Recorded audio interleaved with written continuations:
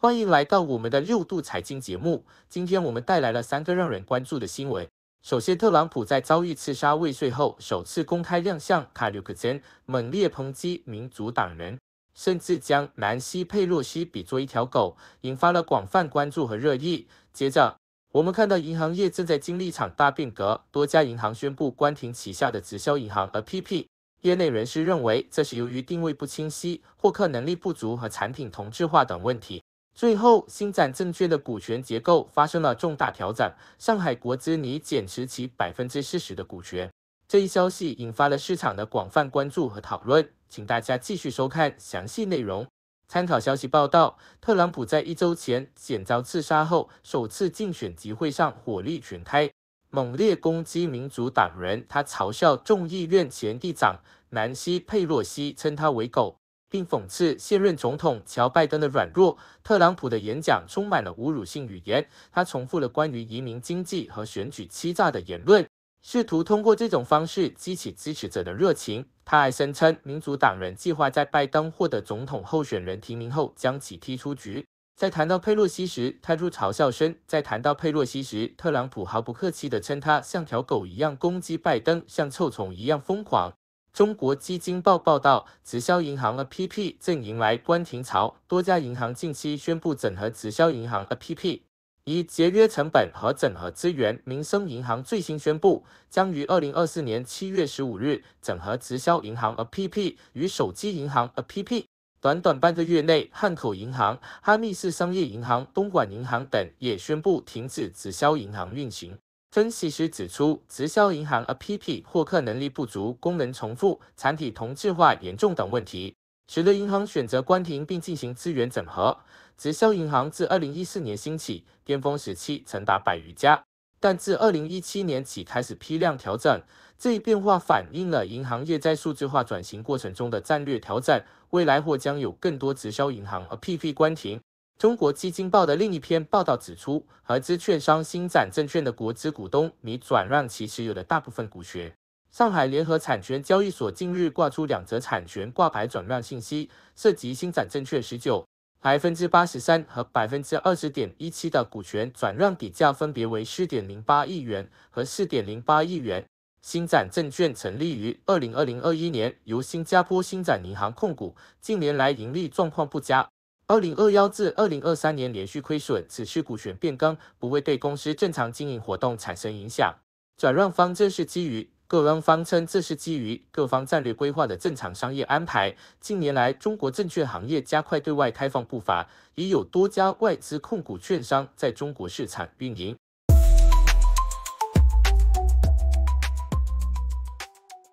网易资产在今年的表现显著，红利指数涨幅超过百分之八，农业银行、工商银行、建设银行和中国银行等巨头的股价均创年内新高。过去三年中，市场情绪悲观，但高股息、强现金流和低估值的股票却在悄然走强。红利指数相比二零二零年初上涨了近百分之十八，投资者常常纠结于接下来会发生什么。但更应关注的是它价值几何。红利指数当前的股息率为百分之六点一四，滚动市盈率为六点八倍，估值处于历史低位。能源股和金融股的股息率尤其高，盐矿能源和平美股份的股息率超过百分之九，建设银行和工商银行的股息率约为百分之五。红利资产的风险虽高于国债，但基金风险调整后的收益率依然具有吸引力。投资者应更多关注资产的内在价值，而非短期行情波动。耐心持有是关键。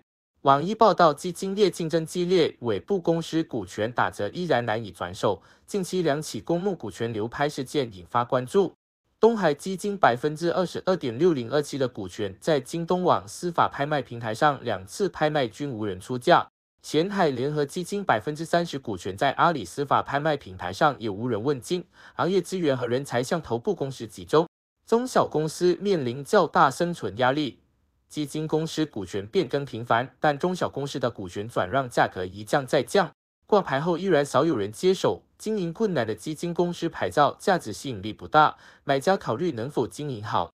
未来经营不善的尾部公募可能会选择直接注销牌照，个别具有前景的基金产品可由其他基金公司接管。新国九条明确支持头部证券基金机构通过并购重组提升核心竞争力。网易报道，随着地球变暖，全球电网故障频发。二零二四年初夏，黑山首都波德戈里察在炽热阳光下，生活几乎停滞，交通信号灯熄灭，互联网崩溃，安全警报因断电而响起。退休警官德拉戈·马蒂诺维奇描述了断电一小时后的恐慌。全球各地的数亿人面临停电风险加剧的问题。电网故障不仅影响日常生活，还威胁公共安全和经济稳定。暖或极端天气事件频繁，给电网带来巨大压力。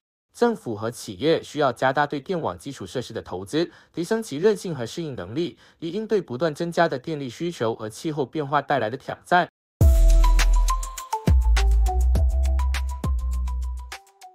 网易马克扎克伯格 （Mark Zuckerberg） Mark Zuckerberg 在采访中描述了前总统唐纳德·特朗普当场遭遇枪击后的临危反应。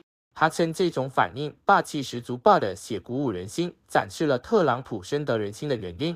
扎克伯格在加州门洛帕克的公司总部接受采访时表示：“看着唐纳德·特朗普中枪后站起来，在国旗下振臂高呼，这是我这辈子见过最牛 X 时之一。”尽管如此。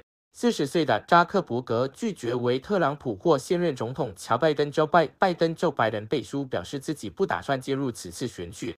网易本周，全球金融市场经历了今年以来最为动荡的一周。美联储降息交易和特朗普回归交易主导市场定价，导致高位的美股纳指、日经二二五等大幅调整，而低位的美股罗素、二零零零指数、二零零零指数、而股毛指数等则底部反弹。国家队护盘力量逐日增强。沪深三零零指数更是走出九连阳。分行业来看，分行业来看，农林牧渔、食品饮料等行业领涨，而轻工制造、通信等行业则领跌。周末重磅消息包括，国务院常务会议决定加力支持大规模设备更新和消费品以旧换新政策措施，进一步推动大规模设备更新和消费品以旧换新。与此同时，感染了新冠的拜登面临日益增大的退选呼声，有时候他已开始认真考虑退选问题。网易房地产市场的发展根基是经济形势的变化。本文以史为鉴，探讨了罗文刚背后的房地产市场。美国房屋施工数据见顶之后，新开工数据三到四个月，而我国新开工与施工面积的间隔约六个月。预计我国房屋施工面积将于二零二七年九月降至约三点二亿平方米，较今年六月数据下降百分之五十四。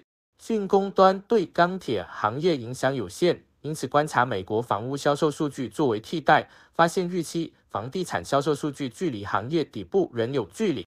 整体而言，参考美国房地产泡沫破裂后的数据演变，认为我国房地产行业的景气度可能暂未见低，但无需过于悲观，基本面将在周期中逐步修复。经济环境的变化是房地产行业发展的根基。假如我国经济周期企稳回升，房地产行业也有望回暖。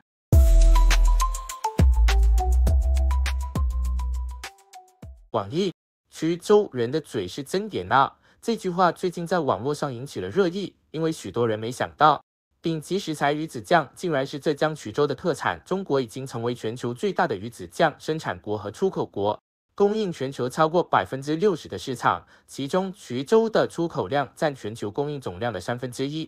早在十几年前，衢州柯城区通过与杭州千岛湖寻龙科技股份有限公司合作，合作。引入先进的养殖技术，利用乌溪江上游的优质水资源，建立了幺零零五的鲟鱼养殖基地。通过科学的生态网箱养殖、陆地流水养殖模式，衢州成为亚洲最大的鲟鱼养殖基地，并且鱼子酱已经出口至四十二个国家和地区，连续九年位居世界第一。得天独厚的生态环境和良好的交通枢纽位置。加上科学的养殖模式和政府的支持，使得衢州的鱼子酱产业蓬勃发展，不仅带动了当地经济，还为农户带来了可观的收入。网易，宝马汽车因拒不交车和临时加价的问题，在全国多地引发了巨大争议，尤其集中在 i3、X3、三系等车型。许多消费者在提车时被要求临时加价三万元，引发了不满和投诉。此次事件暴露了宝马在价格战中的失败。尽管宝马、奔驰等豪车品牌在降价促销中投入了大量资源，但销量并未如预期增长。反而出现了量价双杀的局面。宝马 4S 店的临时加价行为，也反映了车企和经销商之间的矛盾。车企压榨经销商，经销商再压榨消费者，最终损害了品牌声誉。此次事件提醒车企在市场竞争中需要重新审视自己的策略。只有追求极致性价比或提供优质服务，才能在竞争激烈的市场中立于不败之地。网易中富利的辞职为接班二代们上了一课。钟富利在一封公开信中宣布辞去娃哈哈集团董事长、总经理职务，并表示自己被逼走。中富利和其他股东高层之间的博弈已经持续了一个多月，主要原因是他在经营理念上与父亲钟庆后有本质分歧。中富力推行现代管理模式，他提拔新人，但这引发了内部的强烈反对。宗富利的改革并未取得显著成果。反而导致企业内部矛盾激化，他的辞职也暴露了家族企业在接班问题上的普遍难题。宗富利的经历提醒企二代们，接班不仅需要能力，还需要策略和人脉的支持。对于企一代来说，也需要慎重考虑接班问题，如何平衡利益格局，锻炼子女的心性，才能确保企业的长久发展。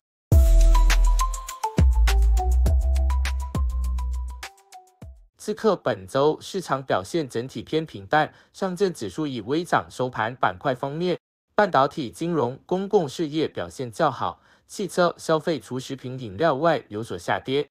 北向资金单周累计净流出一百九十三亿元，是七月以来的最大单周流出。然而，阿股表现整体，原因在于市场开始交易重磅会议预期，随着会议的结束以及后续配套政策的逐步落地。未来，A 股市场的交易也会以此为基础展开。三中全会公报发布后，中共中央举行新闻发布会，对部分重点改革方向进行进一步阐述，包括国有控股上市公司、绿碳板块、新质生产力和供应链安全等方向。中航证券统计券统计，近四届三中全会召开期间，市场多处于阶段性底部区间。会议后，市场风险偏好逐步企稳，大多迎来了阶段性行情。短期内，市场预计依然会是红利打底、成长进攻的配置策略。红利股优选央国企、网易本周欧股继续小幅反弹，上证指数涨百分之零点三九，深圳成指涨零百分之五十六，创业板指涨百分之二点四九，港股全线走弱，恒指跌百分之四点七九。恒生科技指数跌百分之六点四九。美股方面，道指本周内涨百分之零点七二，纳指内跌三百分之六十五，标普五零零指数累跌百分之一点九七。上半年国内生产总值同比增长五。OpenAI 发布轻量化模型 GPT-4o Mini，上海将启动无人驾驶汽车公开测试。香港消委会就农夫山泉事件致歉。公募基金最新前十大重仓股出炉，冥王登顶。麦飞 Q 二财报显示，营收九十五点五九亿美元，净利润同比增长百分之四十四。欧盟或大幅降低大众及宝马两款中国产电动汽车关税。阳光电源与沙特 LG 也签约期。A.G. 沃储能项目，微软预估系统故障影响全球近八百五十万台相关设备。美国芯片公司世捷蒸发超五千亿美元。特朗普发誓上任首日就结束电动汽车政策。市监局调查统一方便面酸菜鼠头事件。优衣库高管称中国消费者心态变了。去哪儿数据显示，暑期旅游市场呈现量涨价跌态势，测试价格战结束等。网易中庚基金公告，邱栋荣因个人原因自七月十九日起卸任中庚价值领航等五只产品的基金经理，同时不再担任中庚基金副总经理等职务。此番人事变动前，邱栋荣不仅是中庚基金副总经理兼首席投资官，也是公司任职年限最长的基金经理。此外，邱栋荣持有中庚基金百分之九点七三的股份。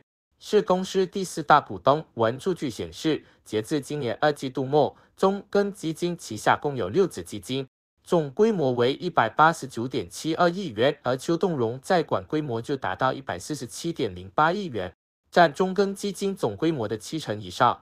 离职传闻影响，今年二季度，邱栋荣的管理规模出现了近三年来的单季度最大降幅。与今年一季度末的一百九十八点五四亿元相比，缩水了五十一点四六亿元，降幅超过百分之二十五。与一季报相比，朱栋荣在二季报中的投资策略关注的行业并无太大变化，但在个股的选择上，无资产品均对重仓股进行了大手笔的调换。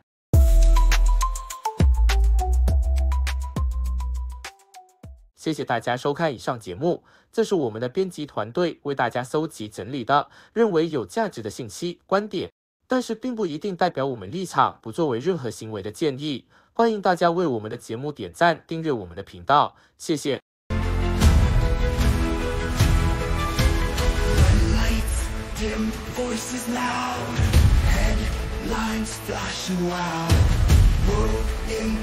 stories told, it's time to vow Eyes glued, truth pursued Understanding